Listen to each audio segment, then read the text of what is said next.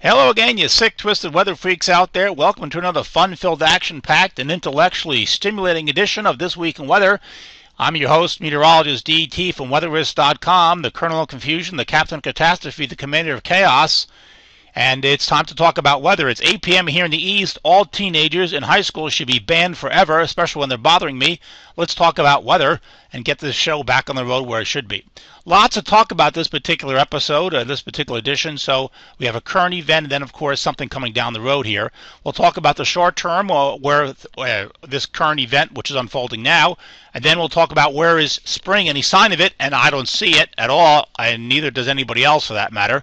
We'll talk about the extreme blocking pattern. The MJO favors another East Coast winter storm potentially, and also the event for March 24th, 25th. So let's get right to it. All right, this first image here, this is a surface map uh, at, uh, at 8 p.m. Uh, 0Z and uh, up for the mid-Atlantic region. And uh, as you can see that uh, we can take a look at our temperatures and our dew points and see exactly what's going on here. Notice like for example, let me highlight my pen here so we can see this uh, a little better. Notice in central Pennsylvania we have a dew points of a temperature of 33, dew point 15. Harrisburg is 36. Uh, 20. So that means once it saturates, uh, you'll probably drop below freezing, and you'll definitely look like a that looks like a pretty good snow uh, surface observation right there. Of course, the winds are now the north in many areas in New England. They're still the northwest. The dew points look at Bradley and, and uh, Worcester. The dew points in the single digits, quite low there. Uh, New York City, the dew points are in the teens. That's pretty good for those guys. And then in D.C., uh, the winds now easterly a little bit. They swung around, but to the northwest in D.C., it, Winchester is uh, uh, 36.28, uh, Martinsburg 39.22. Those are pretty good, uh, you know, temperatures for snow as the uh, colder air continues to build in. Now the rain's coming in, of course, from this general direction coming up, but the main event comes in later on tonight. Uh, with this next round of precipitation. So a lot of this area in here is, looks like it's pretty set for some snow, but um, most of it, it is going to change over even in the Shenandoah Valley areas. And the issue is how far north does it change? I don't think it's going to change much past here, but we'll see. Uh, our next slide here, this is the surface map from, I guess this is the, from the uh, 12Z NAM, and we can see the, uh, you know, the thick blue line here. This is the rain snow line, so we can see, um, uh, the, you know, that there it is moving through central Pennsylvania. This is uh, by tomorrow evening, and look at the southeast winds here. See those southeast winds bringing in the warm air. So this blue line will probably go through Boston or very close to it. And uh, the next slide here, our next map, this is the high resolution NAM. This is tomorrow morning and we can see, uh, again, this is the uh, thick blue line is the rain snow line here. So you can see the wedge. See how the wedge goes all the way down this way? So all this precipitation here, it looks like it's snow in the Shenandoah Valley and in southwestern Pennsylvania. But it's not going to last as warm air is coming in here and the warm air is coming in here. So, um, again, it doesn't look like it's going to be a huge event, but it's March. You know, any snow you get in March, even in the mountains in Virginia is and, and Maryland, can be pretty significant. This is the GFS doing the same sort of thing. I mean, we are going to see a triple point, a new low form right in here, this area right here. As you can see, we are going to get a big low form in here, but the problem is that the warm air is already coming in, and that blue line is coming to the north. So now if this, if this uh, triple point had formed down in here, that'd be a different issue. A lot of the uh, interior northeast would stay all snow, but that's not what's happening. Now this is the uh, European from uh, midday here showing the total snowfall. And notice that the European actually doesn't have that much snow in Boston. It has all the snow just inland and uh, very significant snow, of course, as you go inland. New York City gets nothing, but you know White Plains gets uh, five or six inches. Canal, coastal Connecticut doesn't get anything, but Northwest Connecticut gets hammered with a lot of snow and so on and so forth. Central Pennsylvania does a little bit in the Shenandoah Valley, but not much and not much in here at all, if, if anything. Uh, Washington, D.C., Baltimore, Philadelphia ends up getting screwed on the European again, and that's been the case for them, but those guys all winter long. Now, this is the GFS. It has a bit more snow towards the Washington, D.C., as you can see, a little more snow down right here, here, see that, and getting close to Philly, and getting close to New York City, right along coastal Connecticut, so there's a difference there. You know, do you forecast no snow at all for coastal Connecticut? Given how what the temperature profiles are, it looks to me like Connecticut's going to see snow, even the coastal areas, even New York City at the start, but it will go over. A lot of snow in the Shenandoah Valley here and uh, eastern West Virginia, up to you know six, seven, eight inches of snow, very possible, and a good amount of snow up in that area. So that's a pretty reasonable forecast, I think. I don't have a problem with that. And this is the WRF. We can see here it's got a lot of snow in Pennsylvania and north central and New York State into interior New England. Not much, very very rapid drop off right along here. Look at look at this drop off in New York City. Very sharp drop off. Long Island gets a couple of inches. Coastal Connecticut gets three or four. But look at this again, right in here. Total rip off in Philly, Boston, Philly, uh, Baltimore, and Washington D.C. Mm-mm. What do they have to do to get snow? And then um, right up in here, a lot of snow here in the Shenandoah Valley as well. So. All right, let's take a look at some other conditions. Now, here's let's take a look at the teleconnections here. This is the uh, uh, Arctic Oscillation, and this thing is just tanked. I mean, my God, this is historic. This is extreme in here, folks. This is just off the charts. And that is significant because when you see extreme events in the atmosphere teleconnections, it means extreme events might be happening to the surface. This thing is so far off, it's tanked It begins to come up a little bit by uh, March 24th. But look how extreme this is. The GFS, the European, they all tanked this baby way down in here. Very impressive. If we look at the other teleconnections, this is the. Um, NAO generally very strong, persistently negative, uh, right through till uh, the end of the month. Even on the European ensembles, very strong here as well. This is the western-based NAO. If we look at it from the, from the western point of view, and you can see again that it, this baby is just tanked way down in here. Look at this, 500. Whew, my God, you know that's just 500 meters above uh, abnormal. It's just way off the scale here. Uh, you know, negative, of course, being a positive height anomaly, but you can see how extreme it is. It's just off the charts. This is just amazing stuff. And then this is the PNA, which is uh, not really relevant to our upcoming situation here. It's, it goes negative and then it goes neutral later on as we go towards it. Now let's take a look at what this is going on here. What's happening is, now this is a complicated looking map for many of you, but let's just look at the colors. The colors here, okay, show how extreme the pattern is. You see how you see the red here? Look at this.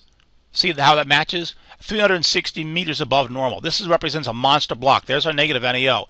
This is our 50-50 low in here over southeastern Canada, and this here is a deep trough. And what's happening is this energy is coming down this way, and it's moving off the east coast and it's going boom and it's making the big storm at least that's what some of the models are showing but you know this is a long way out this is, is this really true i mean it's march can this really happen well let's take a look this is the uh, ensemble's 192 hours. This is from the NCEP folks, and again, it's a little cleaner, but we can see the same sort of concept as what we saw here. It's the same sort of thing. Look at the block right up in here. You see the block, right? In northern in, in Canada, here's the uh, here's the big 50-50 low, and there's the big storm moving off potentially over Virginia, North Carolina. That's what the model is. This is an ensemble.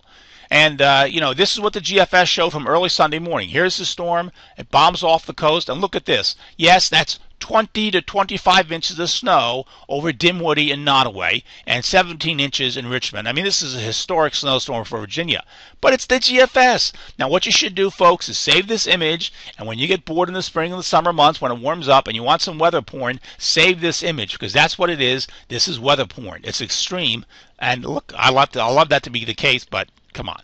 The, you know, you can get a big snowstorm in Virginia and not have 22 inches of snow. That's just nuts. So, any event. But on the other hand, here's the European from this morning, and the European is showing the same sort of thing. Um, we can clearly see that the European uh, has the block up in here. Here's our 50-50 low, and there's the trough coming in this way, and it moves through and explodes off the coast. You know, very consistent pattern here.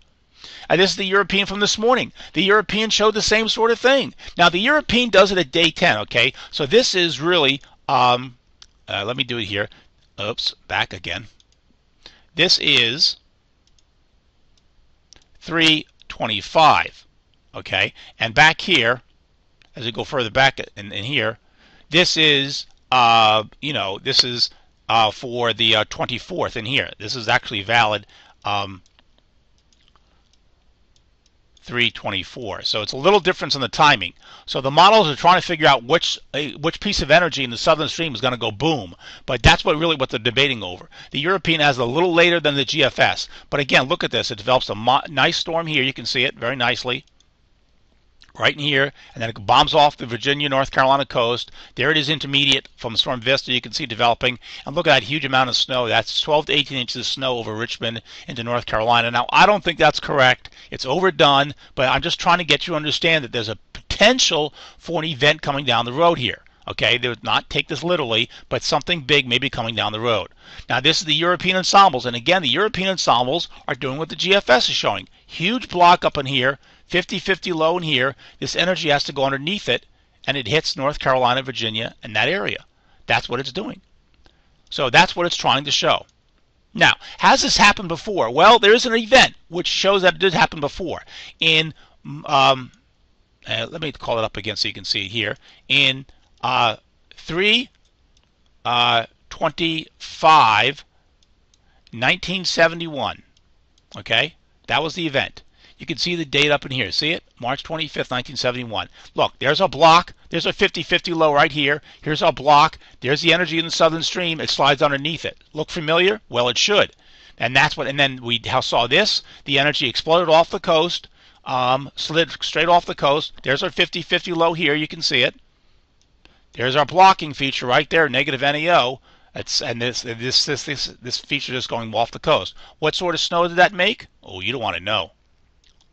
There you go. Look at that. This is March 26, 27th, 1971.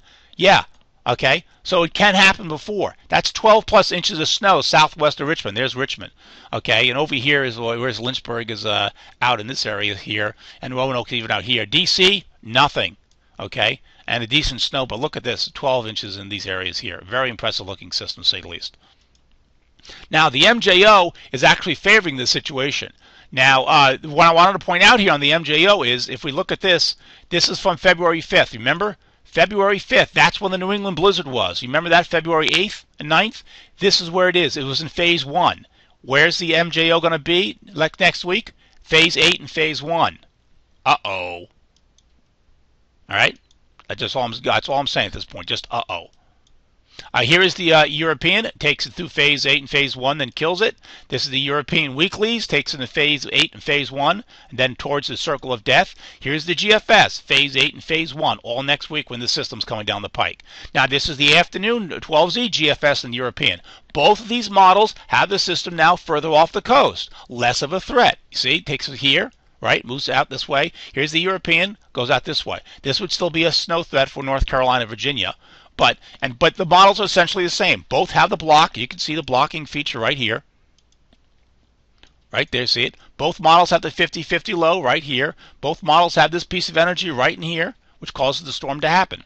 So we'll see. It may form off the coast. It's absolutely, and you know that might still count as a hit in terms of the models figuring out what's going to happen.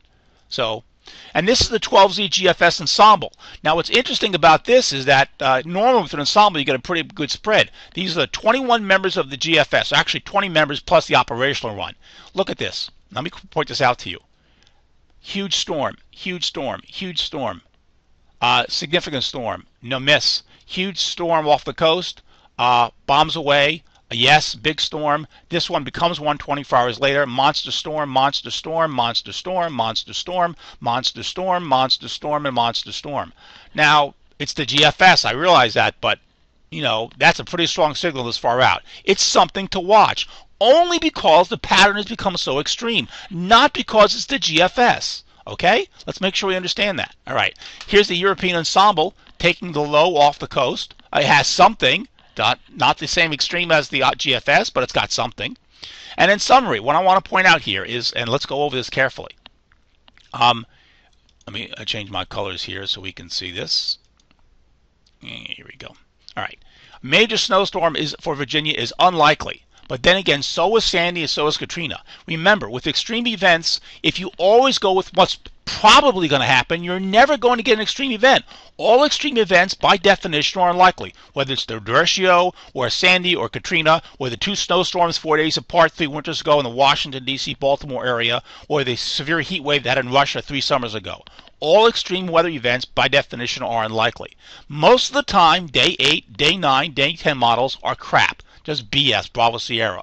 But when the overall pattern is extreme, then the unlikely event is far more likely to occur. I'm not committing to this, I'm just letting you know it's a possibility because the pattern is so extreme. This is meteorologist DT from weatherrisk.com. Let's see what happens.